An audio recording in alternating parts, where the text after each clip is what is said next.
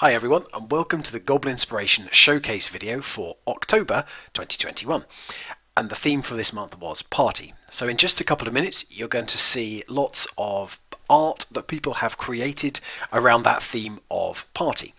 Um, if you haven't come across Goblinspiration before, that's essentially what we do every month. I come up with a theme, I put it out there and people uh, create things hopefully inspired by the theme of that month.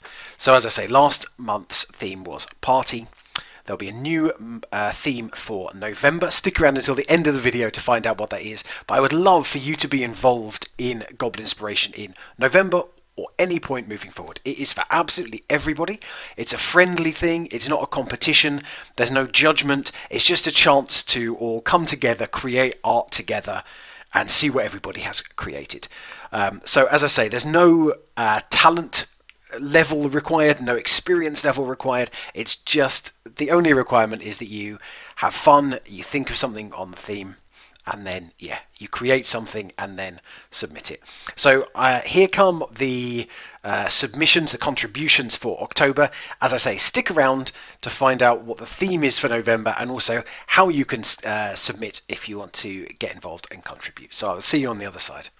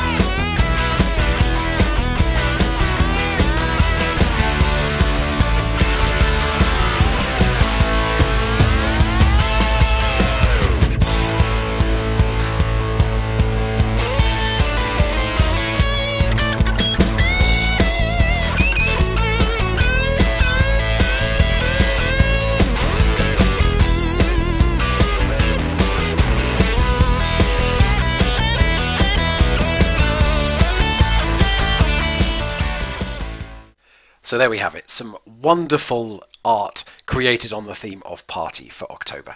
So as I mentioned before, the uh, the art came through. Uh, I've got this theme for you for November, and the theme is gold. Now I encourage people, as you will have seen from the uh, art that was contributed in October, I encourage you to take that whatever way you'd like. You could do gold coins, you could do a golden opportunity, you could do uh, an athlete who is a gold medalist, all kinds of possibilities. And the more different ways there are that people can take it, the happier I am all the time. Uh, the idea is very much that it's what inspires you from that theme word. So if you want to get involved, I would love to have you involved in Goblinspiration. All you have to do is create something in any medium. It started off uh, very much about miniature painting, which is why most of the contributions now are, uh, but it can be any medium.